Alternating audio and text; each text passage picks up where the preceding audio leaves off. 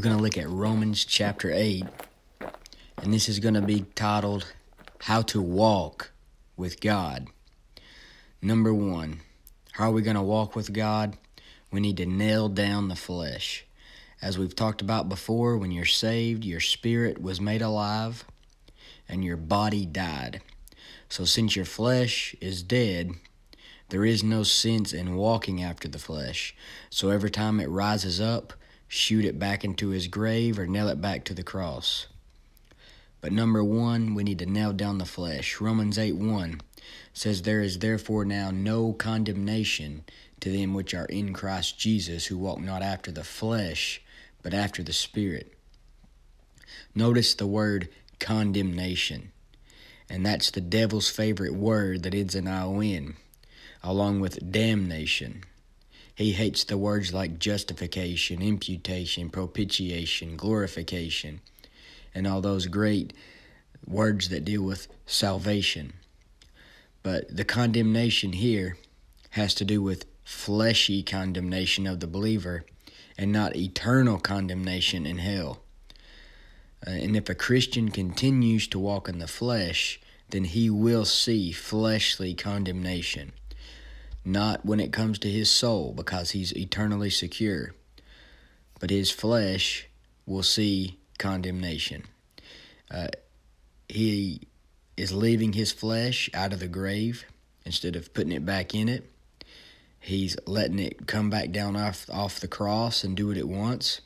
So he will fall right into the grave that the flesh should have been in, covered with dirt.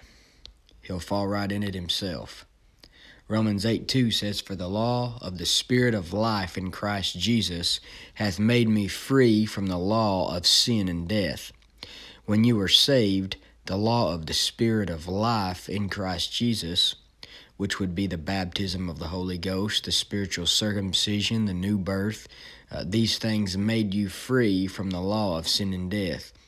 And you are free to walk with God. You can choose to walk with God daily by nailing down the flesh. How can two walk together except they be agreed, says Amos. So you can't walk with God and walk with the flesh at the same time because they're not going the same direction. Your flesh says, sleep in and do nothing. The Spirit says, get up and do something for God. Your flesh says, listen to bad music like Drake and Imagine Dragons and 21 Pilots and Lady Gaga and Nicki Minaj and other filth. Your spirit says listen to psalms, hymns, and spiritual songs. Your flesh says, okay, well, if you're not going to listen to the secular stuff, listen to the contemporary stuff. That way you can sing about Jesus Christ, but you still get that worldly taste, that fix you get that worldly taste in your mouth. But once again, the Spirit comes back and says, listen to psalms, hymns, and spiritual songs. You see, your flesh is okay with, with you settling in the middle, but the Spirit wants exactly what the book says. Nail down the flesh so that you can walk with God. And next, remember what God did for you remembering what God did for you will help you to walk with God. How to walk with God, remember what God's done for you. I want to walk with someone like God who's done more for me than anybody's ever done for me. Romans 8 3 says, For what the law could not do, and that it was weak through the flesh, God sending his own Son in the likeness of sinful flesh, and for sin condemned sin in the flesh all the law could do for me was show me that I'm a sinner, but it couldn't give me a cure for sin. And it only makes sin seem more tempting because there's a law against the sin. But Jesus Christ came in the likeness of sinful flesh. He fulfilled the law. He never broke the law. And through him, I can have his righteousness applied to my soul, and it'll be like I never broke the law. So the Lord Jesus Christ left the riches and glory of heaven to come down to this old world and die on the cross for your sins. And Jesus Christ condemned sin in the flesh because he preached against it. He said, Go and sin no more. He condemned sin by never sinning one time. And he was sent in the likeness of sinful flesh, yet he never sinned. 1 Peter 2:22 said, "Who did no sin, neither was guile found in his mouth." Hebrews 4:15 says, "For we have not an high priest which cannot be touched with the feeling of our infirmities, but was in all points tempted, like as we are, yet without sin." So Jesus Christ came down in the likeness of sinful flesh, yet he never sinned. And he lived a sinless life for you, died on the cross for you, was buried, and rose again the third day for you. And the Bible says his visage was marred more than any man. It says he gave his back to the smiters, and his cheeks to them that plucked off the hair. He hid not his face from shame and spitting. Uh, they beat him, they whipped him, they spit in his face, pulled out, pulled the hair out of his face, put a robe on him and a crown of thorns on him to mock him. Wouldn't you want to walk with someone who did that for you, left the riches of heaven, and came down in likeness of sinful flesh? Uh, you want to get autographs from your favorite preacher or your favorite singer or your favorite actor, but you can't have a real relationship with these people. But you can have a real relationship with Jesus Christ. You can walk with God every day. Remembering what He did for you will help you walk with Him. Romans 8 4 that the righteousness of the law might be fulfilled in us, who walk not after the flesh, but after the Spirit. The righteousness of the law is fulfilled in us, not by us. Jesus Christ is the end of the law for righteousness to everyone that believes. According to Romans 10:4, Jesus Christ is in us and he fulfilled the law, that the righteousness of the law might be fulfilled in us. I have the imputed righteousness of Jesus Christ on my soul. So remember what the Lord did for you if you want to walk with God. Next, if you want to walk with God, you need to think spiritually.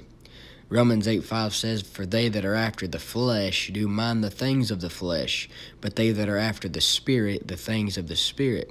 If your mind is on the things of the flesh, then all you are concerned with is pleasure, preservation, just feeding your face and feeling good all the time, watching what you want to watch, hearing what you want to hear, looking at what you want to look at. Your flesh wants to do what it wants to do. It says, Me first you next, then the devil, and then God somewhere at the bottom. The only time the flesh wants to do right is if it will help him do wrong. He doesn't have a good motive. And if you don't give him exactly what he wants, he'll settle in the middle, but he doesn't want to do what's right. But the Spirit, it won't settle in the middle. It wants to do exactly what's right, exactly what the Bible says. And if you're fleshly minded, you're thinking about the things of the world. But Colossians 3 2 says, Set your affection on things above, not on things on the earth. So think about your new body you're going to get. Think about New Jerusalem. Think about a new heaven and a new earth. Think about things that are new, that's really going to be new that you're going to get in eternity. Romans 8 6 says, For to be carnally minded is death, but to be spiritually minded is life and peace. So if you're carnally minded, meaning if you're worldly minded, then all you're going to think about is things that will lead you to an early grave. Sin starts out with a thought. A life of ruin starts out with wicked thinking. And have you ever noticed how the bad things that you want to do have something bad as a result. All the bad things that people just love so much and act like they're just the greatest things in the world always lead to something bad. Like the people at work, what are they doing on the weekend? Going out drinking and partying, things like that. But what does these things do? Smoking People enjoy smoking. What does it cause? It causes disease. Drinking causes disease and car wrecks. Fornication causes STDs. Listening to dirty music and watching dirty movies make you desensitized to drinking and fornication and other sins. Uh, stepping out on your wife will result in a busted up home. Your kids will be heartbroken. Your wife will be heartbroken. Your life will never be the same Ever notice the things that God doesn't want you to do are always things that would lead to something tragic happening in your life? So you think that God's just no fun and He's against the things you want to do, but that's only because He wants what's best for you. And He can see what will happen if you continue in these sins.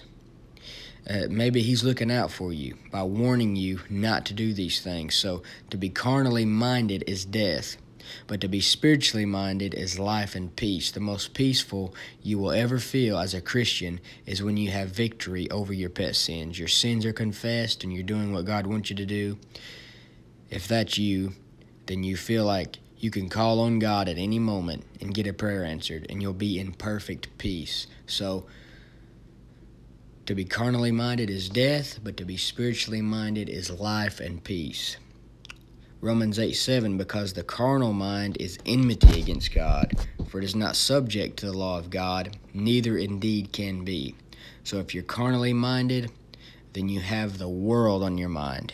And James 4 4 says, Ye adulterers and adulteresses, know ye not that the friendship of the world is enmity with God? Whosoever therefore will be a friend of the world is the enemy of God. The world really isn't your friend. It's two faced. It makes you think it is, but it really ain't. It's like that guy at work that always comes up to you and says, Hey, what's up, man? How you doing? And then the next minute, he's lying about you, backstabbing you, talking bad about you behind your back. That's the way the world is. This world doesn't like spiritual things. This world doesn't like real Bible believing Christianity. Now, it likes fake Christianity. Ever wonder why you have to go to the internet most times just to buy real Bible believing material? Because they don't sell it at the local bookstore or at the Lifeway Christian bookstore. That's just the the modern modern carnal junk. That's because that junk is settling in the middle. That way you can get the world but still talk about God at the same time but it mostly results in you talking about another Jesus that's not the Jesus of the Bible. But the flesh really doesn't mind. As long as you give it that taste of the world that it's looking for, you can throw Jesus' name in there, you can say little pious spiritual things. But as long as it's got that little taste of the world, it'll settle with that. But you'll always end up going back to the real hard stuff because because it just keeps the taste of the world in your mouth. And I mean, I myself, I mean, I like music that I shouldn't listen to. I choose not to listen to it because I know that it's against God. But there's music, you hear it when you go through the store and it's catchy and it sounds good. Your flesh still likes it. My flesh still likes music that it liked before I was saved. But I choose not to listen to it because I want to please God. And say that I went and started listening to contemporary music. That would make my flesh get back craving that old music. See, I've got the flesh beat down to where I'm not craving the bad music. But if I go to the listen to the contemporary, what's going to happen? It's going to remind me of all the good songs that I used to listen to before I was saved, and I'm just going to start right back up on that again. And see, the the hard music, the bad stuff, sounds better than the contemporary music. All all the contemporary music is is just like buying an off brand of the con, the secular worldly music. The secular worldly music, well, they're both worldly, but the secular music sounds better. It's more catchy. It's like all the people that couldn't make it in the secular music went to the contemporary music but that stuff just keeps the world, the taste of the world in your mouth. But Romans 8 8. So then they that are in the flesh cannot please God. So if you are walking the opposite way of God, you can't please Him. And if you are walking the opposite way of God, God obviously isn't pleasing you either. Because you've got Him in the back of your mind either way. He's not in the the forefront of your life, making decisions for you. So, next, if you're going to walk with God, remember why you were created in the first place. And Revelation 4:11 tells us this. It says, "Thou art worthy, O Lord, to receive glory and honor and power, for thou hast created all things, and for thy pleasure they are and were created." So, this is the meaning of life that sums up why we are all here.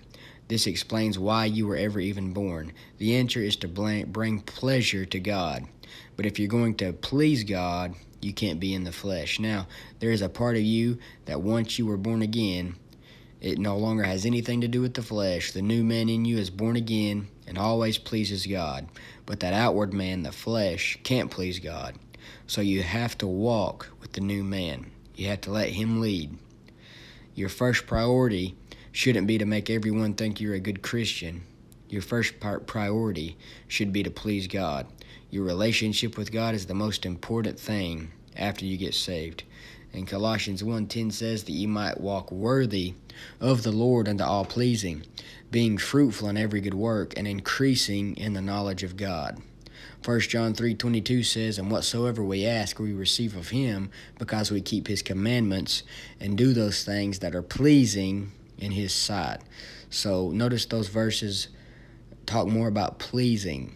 Our purpose is to please the Lord. And Romans 8 8 says, So then they that are in the flesh cannot please God. If you're going to walk with God, remember why you were created in the first place, and that's to please Him. So everything that you do, you need to say, Does this please God? Will this displease God?